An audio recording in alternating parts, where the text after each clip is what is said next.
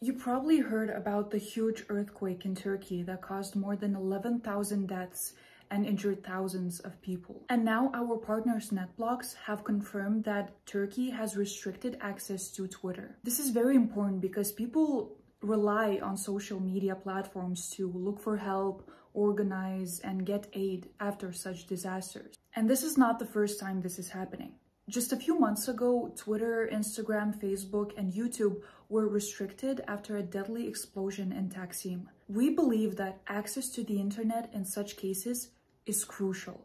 So stay aware and help people in Turkey in any way you can.